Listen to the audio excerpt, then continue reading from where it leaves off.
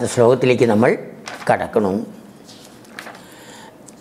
ശ്രുതിപ്രകരദർശിത പ്രചുരവൈഭവ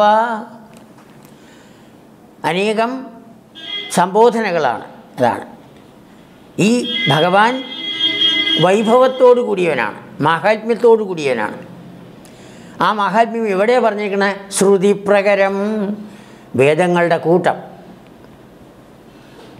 ഋഗ്വേദം യജുർവേദം സാമവേദം അഥർവവേദം എന്ന് പറയുന്ന നാല് വേദങ്ങളും ആ വേദങ്ങളുടെ ഉപശാഖകളും അതാണ്. ഈ നാല് വേദങ്ങൾക്ക് ആയിരത്തി ഒരുന്നൂറ്റി എൺപത് ഉപശാഖകളുണ്ടെന്നാണ് പറയുന്നത് ആ ആയിരത്തി ഇരുന്നൂറ്റി എൺപത് ഉപശാഖയ്ക്കും ഓരോന്നിനും ഓരോ ഉപനിഷത്തുണ്ട്. അങ്ങനെയാണ് ആയിരത്തി ഒരുന്നൂറ്റി എൺപത് ഉപനിഷത്തുണ്ട് എന്ന് മുക്തികോപനിഷത്തിൽ ശ്രീരാമചന്ദ്ര പ്രഭു ഹനുമാന് പറഞ്ഞു കൊടുക്കുന്നത്. അതാണ് ശ്രുതി പ്രകരം. വേദങ്ങളുടെ കൂട്ടം. വേദം നാലേ ഉള്ളൂ. പക്ഷേ ഈ ഉപശാഖകൾ ധാരാളമുണ്ട്. അതിലെല്ലാം ഈ ഭഗവാന്റെ മാഹാത്മ്യത്തെക്കുറിച്ച് വർണിച്ചിരിക്കുന്നു. അങ്ങനെ ശ്രുതിപ്രകരം വേദങ്ങളുടെ കൂട്ടത്താൽ ദർശിതം കാണിക്കപ്പെട്ട പ്രചുരവൈഭവം വർദ്ധിച്ചതായ മാഹാത്മ്യത്തോടു കൂടിയ അല്ലയോ ഭഗവൻ മേൽപ്പത്തൂർ ഗുരുവായൂരപ്പനെ സംബോധന ചെയ്യുകയാണ്. ഗുരുവായൂരപ്പനെയാണ് ബ്രഹ്മമായിട്ട് മേൽപ്പത്തൂർ കാണുന്നത്. നമ്മുടെ ആരാണ് നമ്മുടെ ഇഷ്ടദൈവം? ആ ദൈവത്തിനെ ആവാം. യാതൊരു വിരോധമില്ല ഗുരുവായൂരപ്പൻ തന്നെ വേണമെന്ന് നിർബന്ധമൊന്നുമില്ല.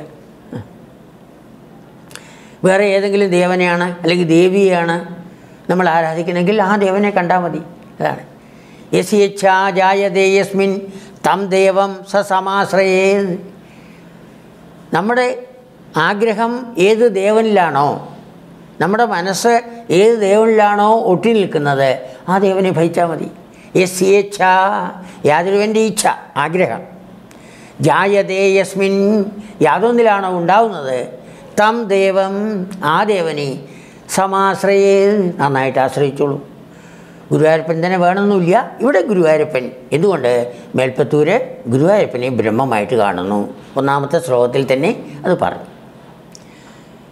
ഗുരുവായൂരപ്പനാണ് ബ്രഹ്മം എന്ന് പറയുന്നുണ്ട് അപ്പോൾ അങ്ങനെ വേദങ്ങളാൽ വേദങ്ങളുടെ കൂട്ടത്താൽ പ്രദർശിപ്പിക്കപ്പെട്ട ദർശിതം പ്രദർശിപ്പിക്കപ്പെട്ട പ്രചുരവൈഭവം വമ്പിച്ച വർദ്ധിച്ച മാഹാത്മ്യത്തോടു കൂടിയവനാണ് ഈ ഭഗവാൻ. ശ്രീപതേ ശ്രീ ലക്ഷ്മീദേവി. ഐശ്വര്യത്തിന്റെ ദേവത സമ്പത്തിന്റെ ദേവത. ആ ദേവതയുടെ പതിയാണ് ഭഗവാൻ. അതുകൊണ്ടാണ് എവിടെ ഭഗവാനുണ്ടോ അവിടെ ലക്ഷ്മി ഉണ്ടാവും. ലക്ഷ്മി എപ്പോഴും ഭഗവാനെ ആശ്രയിച്ചുകൊണ്ടിരിക്കണം. അപ്പോൾ ഭഗവാൻ ഉള്ളിടത്ത് ലക്ഷ്മിയുണ്ട് ലക്ഷ്മി ഉള്ളിടത്ത് സമ്പത്തുണ്ട്. അപ്പോൾ ഭഗവാനെ ഭജിച്ചാൽ നമുക്ക് സമ്പത്ത് കിട്ടുകയായി. ലക്ഷ്മിയെ വേറെ ഭജിക്കേണ്ട ആവശ്യമില്ല എന്ന് നേരത്തെ പറയുണ്ടായിട്ടുണ്ട് ഭഗവാനെ ഭജിച്ചാൽ മതി. ശ്രീപദേ. ആ ലക്ഷ്മി ദേവിയുടെ പതിയായിരിക്കുന്ന ഏ ഭഗവൻ ഹരേ. ഹരി എന്നുള്ളതായ സംബോധന. ഹരി വിഷ്ണു എന്ന് നമ്മൾ പറയാറുണ്ട്. ഹരതി ഇതി ഹരിഹി. ഹരിക്കുന്നത് നശിപ്പിക്കുന്നത്. എന്തിനാണ് നശിപ്പിക്കുന്നത് നമ്മുടെ പാപങ്ങളെ. എന്താ നമ്മുടെ പാപങ്ങൾ വാസനകൾ എന്താ വാസനകൾ ആഗ്രഹങ്ങൾ അനേകം ആഗ്രഹങ്ങൾ നാം പോലും അറിഞ്ഞിട്ടില്ലാത്ത ആഗ്രഹങ്ങൾ മനസ്സിൽ കിടക്കുന്നുണ്ടെന്നാണ് പറയണത്. അതിനെയെല്ലാം ഹരിക്കുന്നവനാണ് ഈ ഭഗവാൻ. എല്ലാ വാസനകളെയും നശിപ്പിച്ച് നമ്മളെ നിർമ്മലനാക്കി തീർക്കുന്നു ഭഗവാൻ. വാസനകൾ വന്നാൽ മനസ്സിന് മാലിന്യമായി. അതാണ്. വാസനകളാണ് നമ്മുടെ മാലിന്യം. വാസനകൾ മൂലമാണ് നമുക്ക് വീണ്ടും വീണ്ടും കർമ്മം ചെയ്യേണ്ടി വരുന്നത്. എത്ര കാലം വരെ ഈ വാസനകളുണ്ടോ അത്ര കാലം വരെ കർമ്മം ചെയ്തുകൊണ്ടിരിക്കണം. അതിപ്പോൾ ഒരു ജന്മത്തിൽ സാധിച്ചില്ലെങ്കിൽ അടുത്ത ജന്മത്തിൽ വീണ്ടും നമ്മൾ ആ കർമ്മത്തിൽ ഏർപ്പെടും. അങ്ങനെ ഏത് ജന്മത്തിലാണോ ഈ വാസന മുഴുവൻ നശിക്കുന്നത് ആ ജന്മത്തിലേ നമുക്ക് മോക്ഷമുള്ളൂ. വാസനാ പ്രക്ഷയോ മോക്ഷ. ഏത് ജന്മത്തിൽ വാസന മുഴുവൻ നശിക്കുന്നുവോ ആ ജന്മത്തിൽ നമുക്ക് മോക്ഷമുണ്ടാവുന്നു.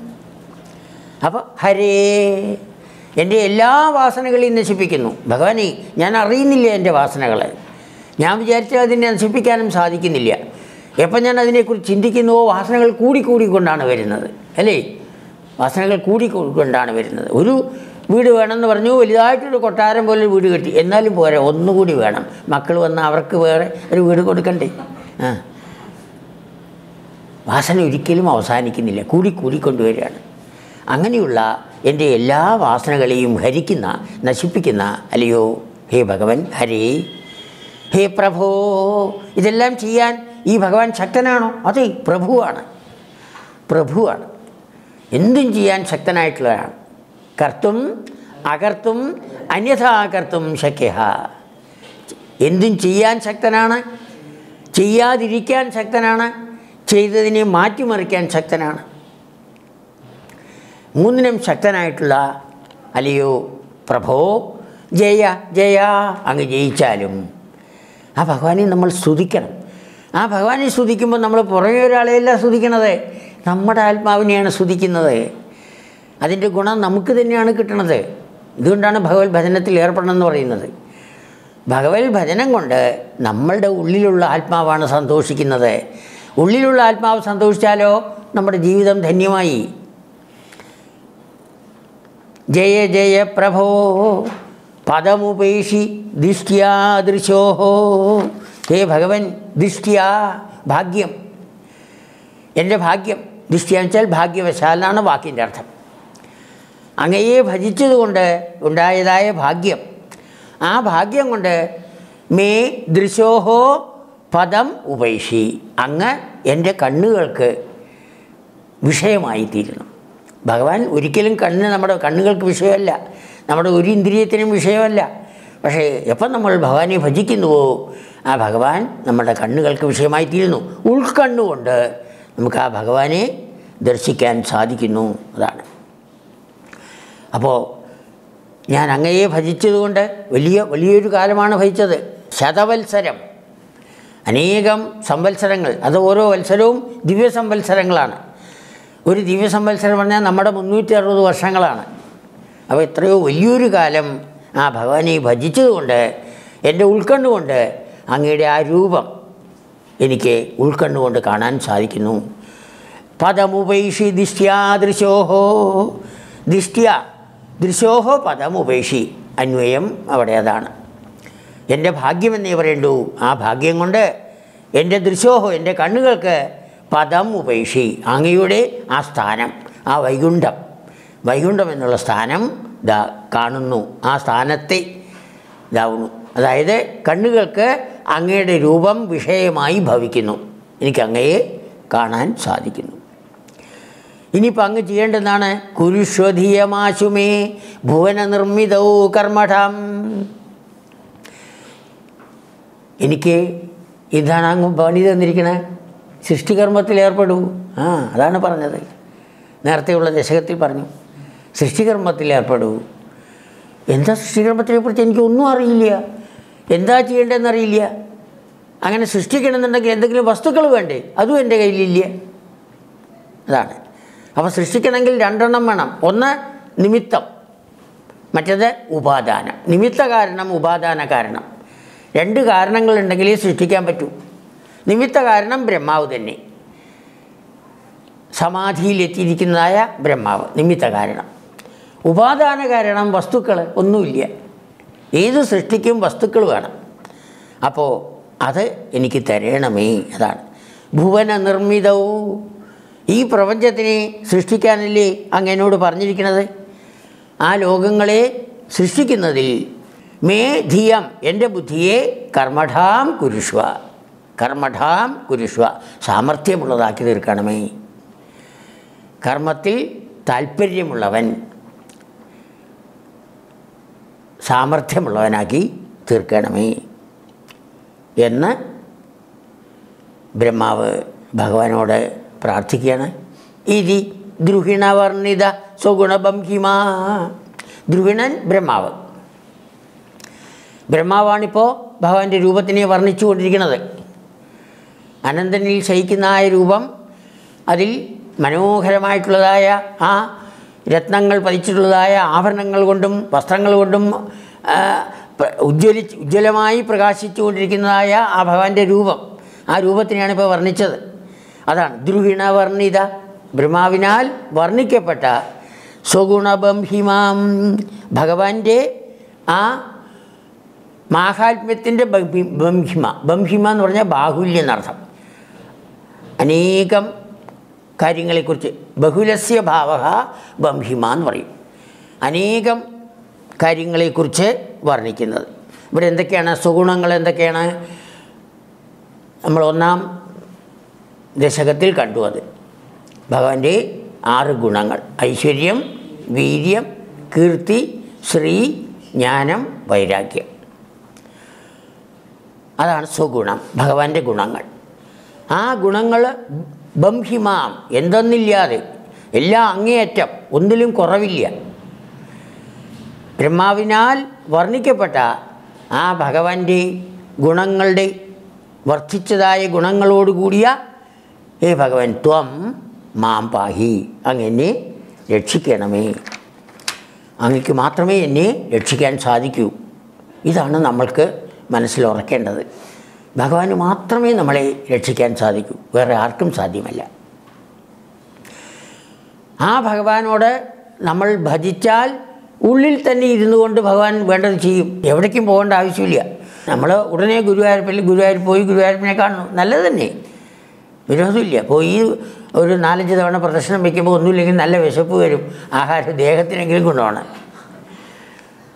പോയാൽ നല്ലത്. പക്ഷെ നിർബന്ധമില്ല. എന്തുകൊണ്ട് ഇവിടെയാണ് ഭഗവാൻ ഇരിക്കുന്നത്? ഈ എന്റെ ഉള്ളിൽ തന്നെ ഇരിക്കുന്നതായ ആ ഭഗവാനെയാണ് എനിക്ക് പ്രാപിക്കേണ്ടത് എന്ന് മനസ്സിലാക്കി ഏത് സ്ഥാനത്ത് നമ്മൾ ഇരിക്കുന്നുവോ ആ സ്ഥാനത്തിരുന്ന് ഉള്ളിലുള്ള ആ പരമാത്മാവിനെ നമ്മൾ പ്രകീർത്തിച്ചാൽ മതി. പരമാത്മാവിനെ പ്രകീർത്തിക്കണം. പരമാത്മാവ് ആണ് ഈ കാണുന്നതായ പ്രപഞ്ചത്തിനെ ജീവിതത്തിൽ സൃഷ്ടിച്ചിരിക്കുന്നത്. ഈ കാണി സൃഷ്ടിച്ചിരിക്കുന്ന ആ പ്രപഞ്ചം വാസ്തവത്തിൽ ഇല്ലാത്തതാണ്. അപ്പോൾ ഇല്ലാത്തതായ പ്രപഞ്ചത്തിൽ നിന്ന് ആ ഭഗവാനിലേക്ക് എത്തി രക്ഷപ്പെടണമെന്നുണ്ടെങ്കിൽ ആ ഭഗവാന്റെ അനുഗ്രഹം തന്നെ വേണം. ഭഗവാന്റെ സത്യരജസ്തമോ ഗുണാത്മീയായ മായയാണ് ഈ വിധത്തിൽ ഈ പ്രപഞ്ചത്തിനെ കാണിച്ച് നമ്മളെ മയക്കുന്നത്. അതാണ്. ആ മായയെ മായയിൽ നിന്ന് നമുക്ക് രക്ഷ നേടണമെങ്കിൽ മായാധിനാഥനായ ഭഗവാനെ ആശ്രയിക്കണം. ഭഗവാന് മാത്രമേ മായയെ നിയന്ത്രണത്തിൽ കൊണ്ടുവരാൻ സാധിക്കൂ. അതാണ്. ഈ മായ ഈ വിധത്തിൽ ഈ പ്രപഞ്ചത്തിനെ സൃഷ്ടിച്ചിരിക്കുന്നു. ഈ കാണുന്നതായ പ്രപഞ്ചം ആചാര്യന്മാർ പറയുന്നു മാണ്ഡ്യക്യ ഉപനിഷത്തിലാണ് അത് വ്യക്തമായിട്ട് പറയുന്നത് വാസ്തവത്തിൽ ഇല്ലാത്തതായ പ്രപഞ്ചമാണ്. പക്ഷെ നമുക്ക് മനസ്സിലാവുമോ? ഒരിക്കലും മനസ്സിലാവില്ല. നമ്മളെല്ലാവരും പലതും ഇവിടെ കണ്ടുകൊണ്ട് അതിൽ ഭ്രമിച്ചുകൊണ്ടിരിക്കുകയാണ്. ഇല്ലാത്തതായ പ്രപഞ്ചമാണിത്. അതിലാണ് നമ്മൾ ഈ വിധത്തിൽ ഭ്രമിച്ചുകൊണ്ടിരിക്കുന്നത്. അപ്പോൾ ആ ഇല്ലാത്ത പ്രപഞ്ചത്തിൽ എന്റെ സ്ഥിതി എന്താണ് എന്ന് മനസ്സിലാക്കണമെങ്കിൽ ഈ മായയെ മാറ്റി നിർത്തി തന്നെ വേണം. അതാണ്. എപ്രകാരം രാത്രിയിൽ നമ്മൾ കിടന്നുറങ്ങുന്ന സമയത്ത് നമ്മൾ സ്വപ്നം കാണുന്നു. ഇല്ലേ? അവിടെ നമ്മളൊരു പ്രപഞ്ചത്തിനെ സൃഷ്ടിക്കുന്നില്ലേ? ഇതുപോലൊരു പ്രപഞ്ചത്തിനെ നമ്മൾ അവിടെ സൃഷ്ടിച്ചു. അവിടെ നമ്മുടെ തന്നെ വേറൊരു രൂപത്തിനെ നമ്മൾ സൃഷ്ടിച്ചു. എന്നിട്ട് മക്കൾ അമേരിക്കയിൽ ഉണ്ടെങ്കിൽ പ്ലെയിനിൽ കയറി അമേരിക്കയിലേക്ക് പോകും. എവിടുന്ന് വന്നു? നമ്മുടെ തന്നെ വേറെ രൂപം. എവിടുന്ന് വന്നു ആ പ്ലെയിന് എവിടുന്ന് വന്നു അമേരിക്ക? എവിടുന്ന് വന്നു ആ മക്കൾ ഒക്കെ നമ്മുടെ ഏകമായ മനസ്സാണ് സൃഷ്ടിക്കുന്നത്. ഏകമായ മനസ്സാണ് സൃഷ്ടിക്കുന്നത്. അതുപോലെ ഏകമായ മനസ്സാണ് ഈ പ്രപഞ്ചത്തിനെ സൃഷ്ടിച്ചിരിക്കുന്നത്. ഇത്രയും വ്യത്യാസം. സ്വപ്നത്തിൽ എന്റെ മനസ്സാണ് സൃഷ്ടിച്ചത്. ഈ പ്രപഞ്ചത്തിൽ വിശ്വമനസ്സാണ് സൃഷ്ടിച്ചത്. എല്ലാവരുടെയും കൂടിയുള്ള മനസ്സ്. അതിനെയാണ് ബ്രഹ്മാവ് എന്ന് പറയുന്നത്. വിശ്വമനസ്സിന്റെ സൃഷ്ടിയാണ്. ആ ബ്രഹ്മാവ് തന്നെ. ഇതിദ്രുഹിണ വർണിത സുഗുണബംഹിമാം. ആ ഭഗവാന്റെ മാഹാത്മ്യത്തിനെ എത്രയാണ് വർണിക്കുന്നത് ഭഗവാനെ? അതുപോലെയൊന്നും വർണിക്കാൻ എനിക്ക് കഴിവില്ല. മേൽപ്പത്തൂര് പറയുകയാണ് എപ്രകാരം ബ്രഹ്മാവ് ഈ വിധത്തിൽ വർണിച്ചുവോ? അത്രത്തോളം മഹാത്മ്യമുള്ള അങ്ങയുടെ രൂപത്തിനെ വർണിക്കാനുള്ളതായ കഴിവ് എനിക്കില്ല. പക്ഷേ അങ്ങക്ക് ഒന്ന് ചെയ്യാം. ത്വം മാം പാഹി. എന്നെ രക്ഷിക്കണമേ. വർണിക്കാനുള്ളതായ കഴിവ് സൃഷ്ടിക്കാനുള്ളതായ കഴിവ് രണ്ടും അങ്ങ് തന്നെ തന്ന് എന്നെ അനുഗ്രഹിക്കണമേ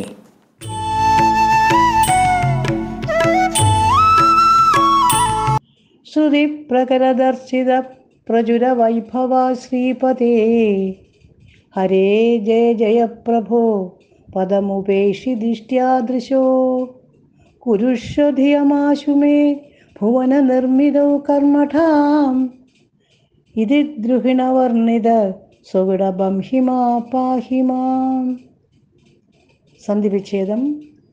ശ്രുതിപ്രകരദർശിത പ്രചുരവൈഭവ. ശ്രീപദേ ഹരേ ജയ ജയ പ്രഭോ. പദം പ്ലസ് ഉപേഷി ദിഷ്ട്യ ദൃശ. കുരുഷ്വ റിയം പ്ലസ് ആശു മേ ഭുവനനിർമ്മിതൗ കർമ്മഠാം. ഇതി ദ്രുഹിണവർണിത സ്വഗുണബംഹിമ.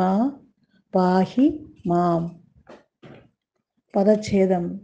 ശ്രുതിപ്രകരദർശിത പ്രചുര വൈഭവ ശ്രുതി പ്രകര ദർശിത പ്രചുര വൈഭവ ശ്രീപദേ ശ്രീപദേ. ഭുവന നിർമ്മിതൗ ഭുവന നിർമ്മിതൗ